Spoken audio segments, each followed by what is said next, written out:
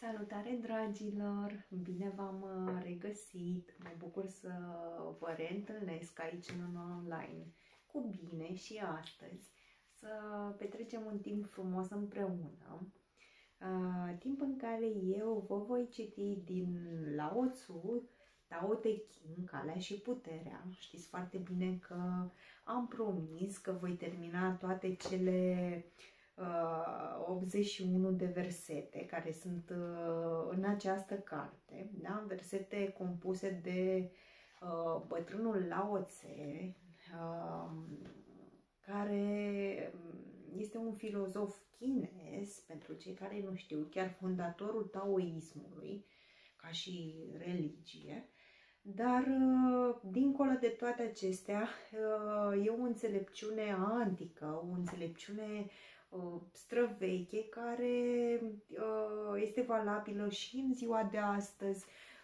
bineînțeles, și care ne ajută foarte, foarte mult în ceea ce privește dezvoltarea noastră spirituală, cât și dezvoltarea noastră personală, da? Um, Cred că mm, la aspectul acesta trebuie să muncim noi singuri. Probabil am văzut lucrul acesta pe propria noastră piele, da? Nu suntem învățați, din păcate, prea mult în școli, cum uh, nu suntem educați, poate, în direcția în care trebuie, știi? Um, educația o primim acasă, de la părinți, bunici sau, mă rog, îngrijitorii noștri Însă, bineînțeles, pe parcursul anilor, fiecare avem evoluția noastră și cu toții avem uh, perioade mai bune, perioade mai puțin bune, care, bineînțeles, ajută la uh, creșterea noastră, nu? E așa?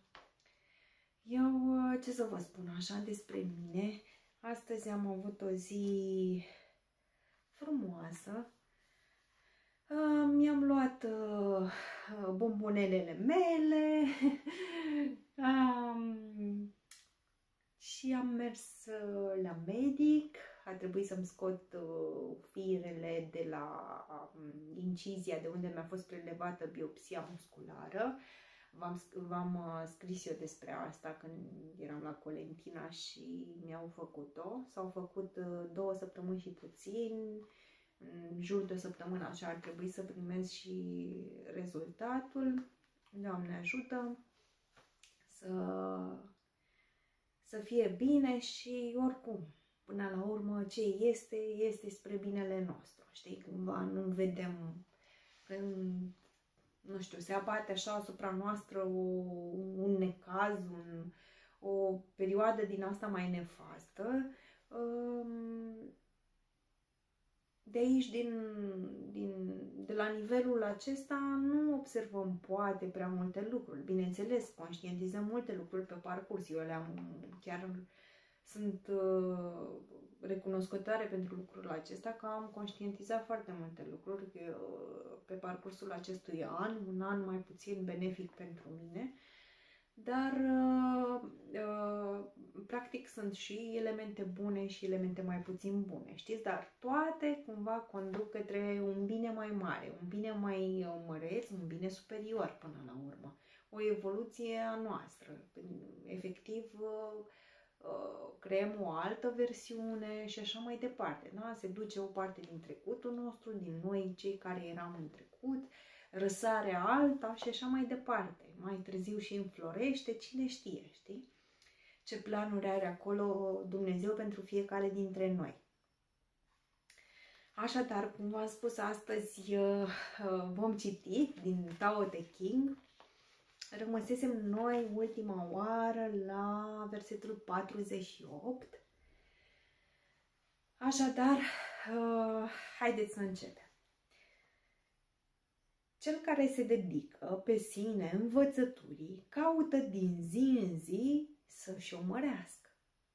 Cel care se dedică lui Tao caută din zi în zi să facă tot mai puțin. Face puținul mai puțin și pe urmă mai puținul și mai puțin până când ajunge să nu facă intenționat nimic. Ajungând la acest punct al non-acțiunii, nu există nimic ce nu face. Cel care primește ca aparținându-i tot ce se află sub cer, o face fără să-și dea în vreun fel silința, în acest scop. Ce frumos! Dacă cineva își dă silința în acest scop, nu este același lucru cu a primi ca aparținându-i tot ce este sub cer. Foarte, foarte frumos și foarte înțelepte aceste cuvinte, uh, dragilor. Mi se par uh, fabuloase, sunt uh, excepționale. Se pare că noi, nu știu, suntem angrenați așa de societate în perioada aceasta efectiv suntem într-o grabă continuă. O grabă continuă, așa, spre nicăieri, dacă am putea o numi așa. Suntem grăbiți tot timpul, în trafic, la magazin, nu avem răbdare, parcă, parcă nu mai există răbdare, parcă nu mai există omenie, parcă nu mai există empatie, știți? Adică lucrurile acestea din păcate, sunt uh, de multe ori realitatea a ceea ce vedem în jurul nostru. Știți, nu putem să negăm lucrurile acestea. Suntem noi zen, suntem uh, într-o vibrație înaltă, încercăm să, uh, să fim acolo și să ne menținem acolo, însă provocările cotidiene ne dau, de, ne dau bătăi de cap. Nu ca să spunem așa. Ei, și atunci, dragilor, atunci observăm noi măi, cât de, cât de bine am lucrat eu cu mine, ia să văd câtă răbdare am în situația asta, dar în situația asta și așa mai departe, știi? Se pare că omul este, uh, s-a învățat tot timpul să facă ceva, știți, adică tot timpul să fac, să fac, să am, să fac și așa mai departe. Și de multe ori uită, dragilor, uită să fie, nu? Până la urmă. Și cum spune și, și maestru, că și ajungi să faci din ce în ce mai puțin, știi? Și cumva să, să fii, știi? Să ajungi la non-acțiune. Practic, ajungând la non-acțiune, ajungi să conștientizezi mai multe lucruri, ajungi să-ți dai seama că nu e nevoie de atâta uh, înverșunare în 70.000 de direcții și să acumulăm chestii și să facem, să facem și așa mai departe. Da? Ehm, de asemenea, ehm, din ultimele două paragrafe, mi se par, mi se, învățătura pe care aș extrage eu de aici ar fi faptul că, mm, într-un fel, am mai vorbit noi despre asta. Trebuie, dragilor, să lăsăm ca viața să curgă. Știți? Ehm, Uh, chiar uh, într-un short v-am împărtășit eu zilele trecute, uh, nu mai știu exact care, dar o personalitate importantă spunea faptul că viața este ca un râu, un râu, un râu cu două maluri, un mal al durerii și unul al suferinței. Noi tot timpul vrem să ieșim din râu, știi? Vrem să ne ducem ba pe un mal, ba pe celălalt. Noi ne complicăm viața singuri, știți? Cam așa e. Uh, tocmai prin, uh, prin necesitatea aceasta noastră de a deține controlul. Noi vrem tot timpul să deținem controlul, vrem ca lucrurile să iasă cum ne dorim noi.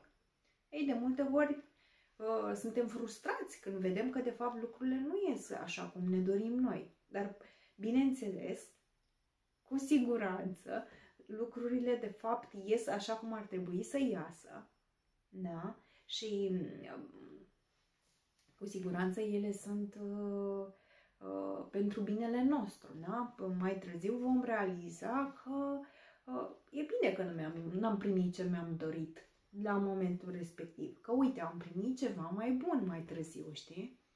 Și renunțând, uh, apropo, la nivel, nivelul acesta de, la necesitatea aceasta uh, de control pe care o avem, uh, din păcate, mai toți, um, efectiv curgem, dragilor, cu viața, ca un râu, nu? Nu e așa? Curgem, îi dăm voie să se Uh, să se manifeste, da? Ne dăm voie sinelui nostru superior să se manifeste, dăm voie energiei să curgă liber în noi, nu mai, mm, creăm atâtea blocaje la diferite nivele uh, în ceea ce privește corpurile noastre, da? Uh, mental, energetic, emoțional, fizic, da? Mai departe, uh, versetul 49. Înțeleptul nu are o voință proprie invariabilă. El face din voința oamenilor voința lui.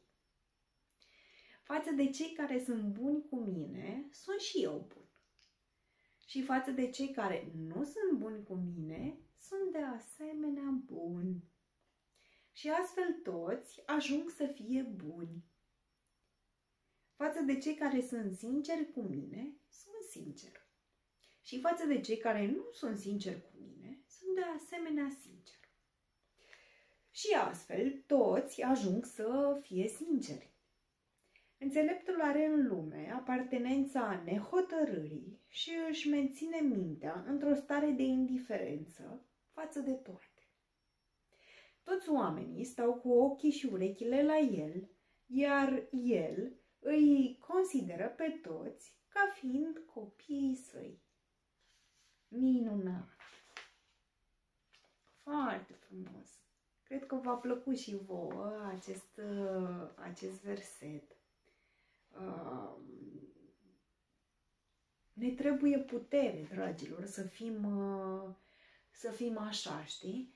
Uh, dar nu este imposibil, pentru că um, s-ar putea traduce așa cu mă rog, dacă ar fi să facem o analogie, am putea să facem cu ceea ce noi în creștinism uh, avem, uh, când spune Isus că să întoarcem și obrazul celălalt, da? Ceva de genul acesta. Um, așa, sper că mă auziți bine, că am deranjat un pic la valierea.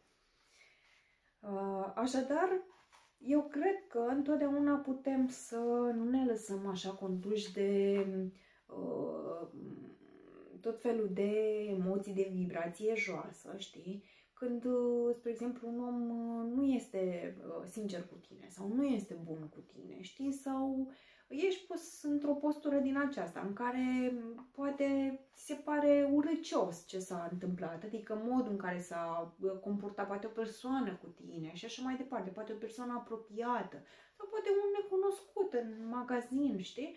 Câteodată trebuie să ne dăm seama de lucrurile acestea, să conștientizăm mai bine, practic, cu cât suntem mai conștienți, da? cu cât suntem mai atenți la ceea ce facem și cu, cu atât mai mult uh, există vigilența aceasta și automat nu mai suntem trași atât de tare, știți, ca într-un vortex de către emoțiile acelea negative, de mânie, de furie sau eu știu orice răsare atunci pe, pe moment.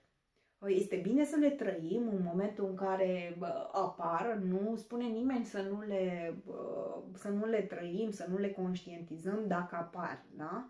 Nu, nu la asta mă refer, în niciun caz, că nu băgăm gunoiul sub preș, nu, dragilor. Doar că ceea ce vreau eu să spun este că uh, ar fi bine ca să reușim să uh, Uh, fim mult mai conștienți, mult mai calmi, să evităm uh, astfel uh, tot felul de conflicte care pot apărea, da?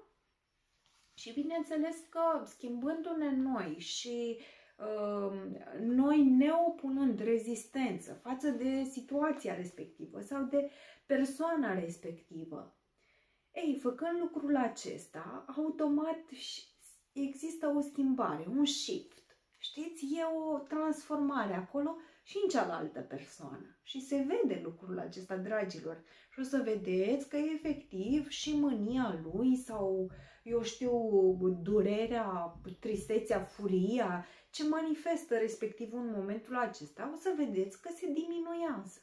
Da? Și ușor, ușor, fața lui se luminează. Sau cel puțin ajunge uh, măcar la o stare neutră, știți?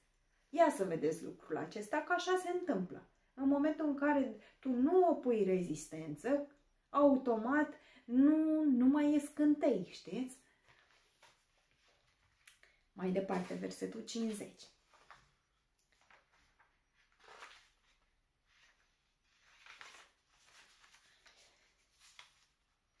Oamenii apar și trăiesc. Pe urmă intră din nou și mor. Oamenii apar din tau. Pe urmă intră, se reîntorc în tau. Din ori care zece, trei sunt slujitori ai vieții pentru ei înșiși și trei sunt slujitori ai morții. Și aici uh, autorul se referă la cei care mor tineri din cauze diverse. Avem o notă de subsol. Primii trei sunt înrădăcinați în Tao. Următorii trei, nu. Mai sunt trei din fiecare zece al căror scop este să trăiască, dar ale căror mișcări conduc pe tărâmul morții. De ce? din cauza strădanilor lor excesive de a compromite viața. Dar am auzit că acela care este meșter în stăpânirea vieții, care i-a fost încredințată pentru o vreme, călătorește pe pământ fără să trebuiască să se ferească de rinocer sau de tigru și intră în mulțime fără haina din piele de bivol sau armă ascuțită. Rinocerul nu găsește niciun loc în el în care să-și înfingă cornul, nici tigrul nu găsește loc în care să-și înfingă ghearele, nici arma un loc în care să-și înfingă vârful. Din ce cauză? Pentru că nu există loc în el pentru moarte. Foarte frumos și uh, profund totodată Uh, foarte, foarte frumos. Cred că, uh, așa cum uh, de fiecare dată fac, vă las și pe voi, dragilor, să vă extrageți învățămintele care rezonează cu voi, să meditați puțin asupra acestor fraze înțelepte și fiecare dintre voi să-și extragă esențial. Da? 51. Toate făpturile sunt uh, generate de Tao și sunt hrănite de influența sa care se revarsă. Își primesc formele potrivit naturii fiecăruia și sunt completate potrivit împrejurărilor stării lor. De aceea, fără excepție, lucrurile venerează Tao și îi preamăresc influența care se revarsă. Această venerare a Tao și preamărire a influenței sale nu este rezultatul vreunei ordonări, ci întotdeauna este un tribut spontan. Așa se întâmplă că Tao face toate lucrurile, le hrănește, le face mari, le îngrijește, le desăvârșește, le maturizează, le întreține și le răspândește pretutindeni le face și nu-și arogă posesie asupra lor. Le însoțește de-a lungul transformărilor lor și nu își etalează putința de a face aceste lucruri. Le duce la maturitate și nu exercită niciun fel de control asupra lor. Aceasta se numește misterioasă influență. Chiar așa, dragilor, foarte frumos, minunat. Deci cred că o să mai repet unul dintre o, o propoziție foarte faină care mie mi-a plăcut tare mult. Tot, tot versetul în sine a fost frumos, tot ce am citit aici, însă uh, aceasta mi se pare într-adevăr uh, deosebită. Așadar, așa se întâmplă că Tao face toate lucrurile, le hrănește, le face mari, le îngrijește, le desăvârșește, le maturizează, le întreține și le răspândește pretutinde. Minunat, minunat, chiar superbă. Superbă descriere a ceea ce înseamnă Tao, a ceea ce înseamnă să fii, să, să luăm exemplu efectiv de la, de la aceasta, da? să învățăm Uh, să fim modești, să învățăm să fim mai puțin egocentriști, da? să învățăm să ne bucurăm de lucrurile simple, să fim recunoscători, să nu luăm lucrurile de gata și așa mai departe. Eu cred că sunt multe lucruri de învățat, multe, multe, multe de învățat. nu e așa? Versetul 52 începe așa. Tao, care a fost la originea tuturor lucrurilor de sub cer, trebuie să fie considerată ca fiind mama lor, a tuturor. Când se găsește mama, știm cum trebuie să fie copiii. Când cineva știe că este copilul mamei sale și începe să apere calitățile mamei care îi aparțin lui, până la sfârșitul vieții va fi ferit de orice pericol să-și țină gura închisă și să închidă deschiderile nărilor și toată viața va fi scutit de străduință grea. Să țină gura deschisă și să-și risipească suflarea pentru a-și face cunoscută lucrarea și toată viața nu va exista siguranță pentru el. Percepția a ceea ce este mic este secretul limpezimii vederii. Păstrarea, ceea ce este blând și delicat, este secretul forței. Cel care își folosește bine lumina, întorcându-o la izvorul său strălucitoare, va izgoni din trupul său orice nenorocire și va ascunde neschimbarea de ochii oamenilor. Ce frumos, ce frumos ne vorbește aici maestru despre Uh, relație dintre mamă și copil, comparația aceasta um, a mamei cu Tao, da? Și, bineînțeles, a noastră, da? Cu, cu Tao, da? Tao este ca un vehicul care circulă prin noi, nu așa, dragilor? Cam atât pentru astăzi. Am, uh, v-am citit cinci versete minunate. Sper să vă fi plăcut. Mie mi-au plăcut tare mult. Tare pline de, de sens, de adevăr, de înțelepciune. Sunt extraordinare și când te gândești că au fost scrise acum mai bine de 2000 de ani. Da? Deci e, e ceva fantastic, într-adevăr. Um, vă mulțumesc tare mult că sunteți aici, vă mulțumesc că v-ați abonat la canalul meu Vă mulțumesc uh, și celor care nu ați făcut-o. M-ar ajuta foarte mult dacă ați face lucrul acesta.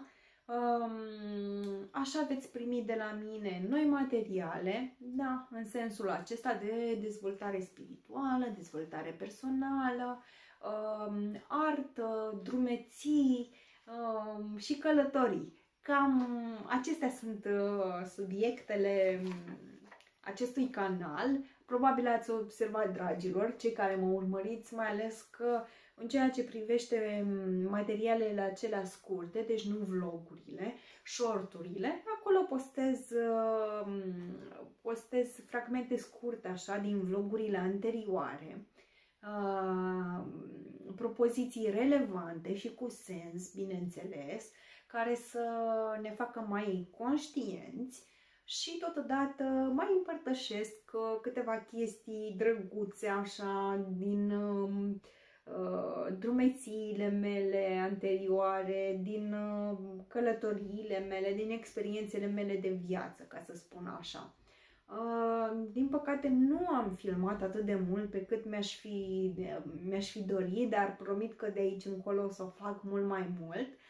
Uh, și, bineînțeles, voi împărtăși cu voi uh, lucrurile acestea. Uh, mulțumesc tare mult că sunteți aici. Vă doresc o săptămână minunată, să fiți încrezători și mm, să nu uitați niciodată că iubirea și bunătatea primează. Vă iubesc, la revedere, seară minunată!